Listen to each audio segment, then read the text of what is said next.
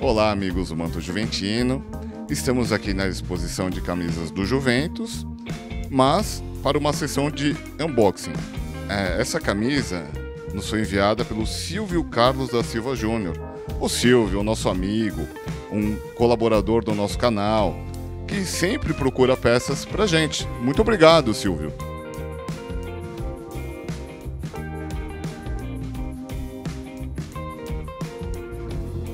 Olha, é uma camisa ombro, a tão procurada camisa ombro do Juventus.